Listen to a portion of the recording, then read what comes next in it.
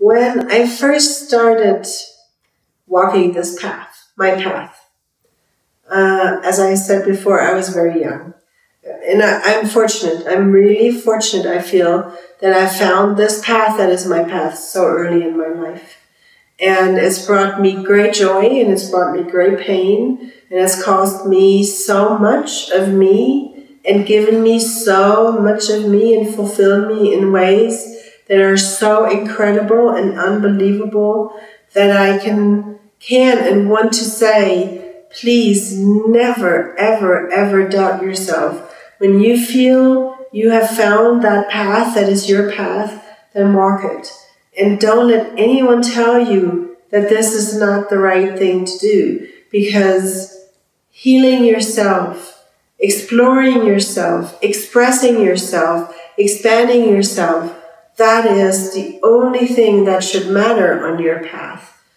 It's not about anybody else. It's always only about you. And I think if we really truly embrace this me, this is about me, my life is about me and nobody else, then I think this trust that we need in ourselves to really be who we are and to live our passion, our joy, our sorrow, our pain, and just ourselves in general, then, then we can just do it. And we don't have to constantly say, maybe I shouldn't, or is this person going to be offended, or what are these people going to think, or is this the right thing to do? Yes, it's the right thing to do. Yes, it's the most right thing to do in your life is to fill your life with yourself and to walk this path that you know is your true path.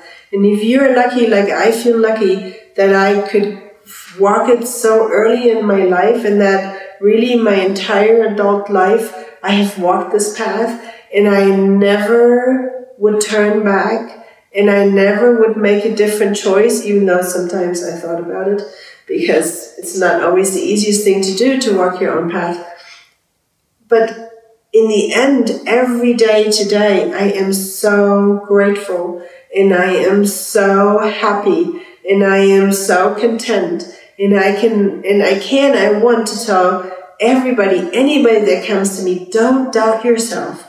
This is your path. Go for it.